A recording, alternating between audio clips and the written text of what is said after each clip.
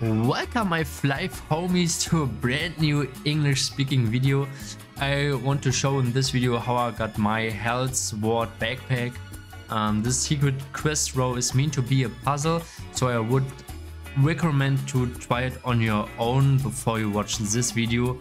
Um, if you have any trouble or you are just being lazy like the most people I guess, um, I got you covered and in this video I show how you can get the backpack and it will start right now. To get started with the secret quest row, you need an item which is called Symbol of Shade. You can get it from defeating Violet monster in every level. And then you need to move on to Hale, which is based on Flaris North, like you see.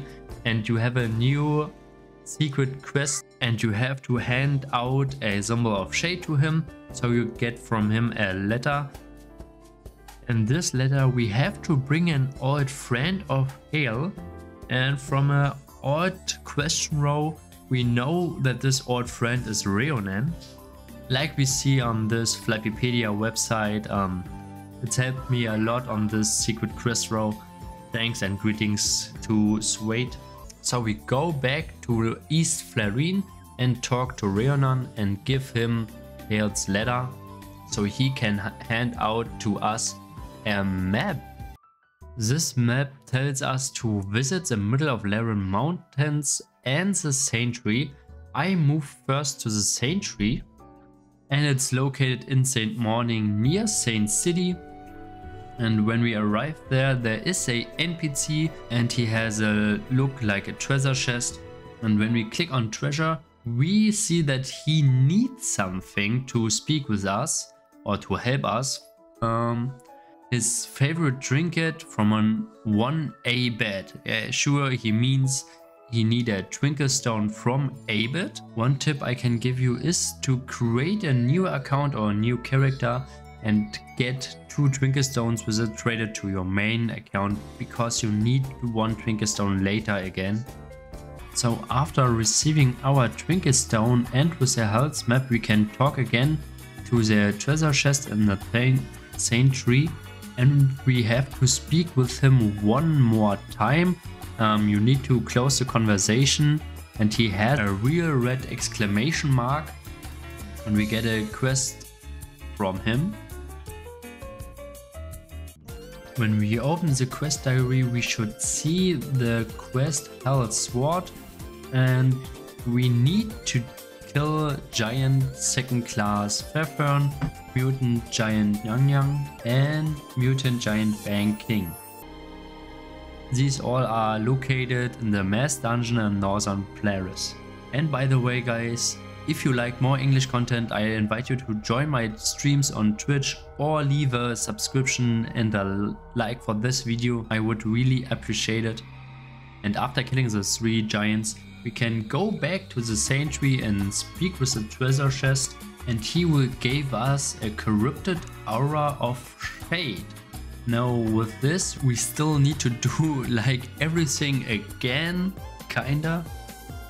Because we knew that the map said in the middle of Laren Mountains there is a treasure chest too and is located here on a flying island. But the thing is we need again the Hale's map so we go back to Hale with the symbol of shade get the letter from him and port back to Rhiannon to talk with him to receive the map. And with a Twinkle Stone we can now talk to the treasure chest and get Aura of Shade. After receiving Aura of Shade and Corrupted Aura of Shade, I was kinda lost, um, but with the help from Discord and some hints, um, I just tried to speak to an NPC which is the next key to continue the secret quest and it's located in Darkon 3. The purple lady called Great Magician Laola will ask us to bring her two items which will be the most difficult part in, in the most cases I guess. Um, we need the Angelic Stone and a Cure Disease potion and this cure disease potion is not easy to get. Here again I was using Flyff Universe wiki von Swade um, to look up where Angelic Stone is located. I kinda knew it was with Glathan but I want to be sure. And I also looked at the disease potion but it's not that easy because it was not registered uh, in the Flyff Universe wiki where you can drop this uh, disease potion. But first the easy part, the Angelic Stone is always here on the Captain Glathan spawn, you can easily collect it. Um, if it's not available, maybe switch channel because somewhere else collected it some seconds ago. But now to the difficult part, to get the cure disease potion. Um, I got some hints that on Discord someone already searched for cure disease potion where you can drop it. And there are some monster listed. The working monster are Meteonyker, Iblis Leans, Mushmoot, Grill, Big Muscle.